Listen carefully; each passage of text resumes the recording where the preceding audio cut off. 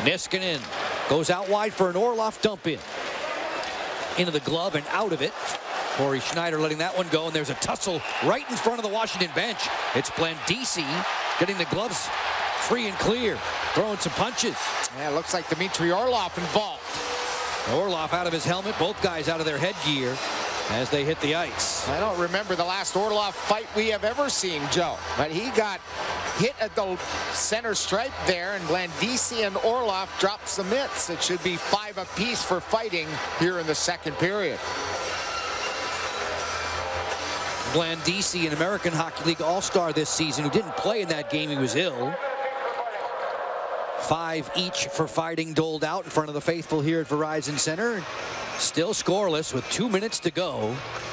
And here you see top of the screen the finish by Blandisi well after he had cleared the puck in. Then the shot to the head, and Orlov takes exception. And there they go. Five minutes apiece for fighting. And I think that's his first fight in the National Hockey League. He did have one, according to hockeyfights.com, Joe, in the KHL. Dan O'Halloran obviously had fun with it, the referee.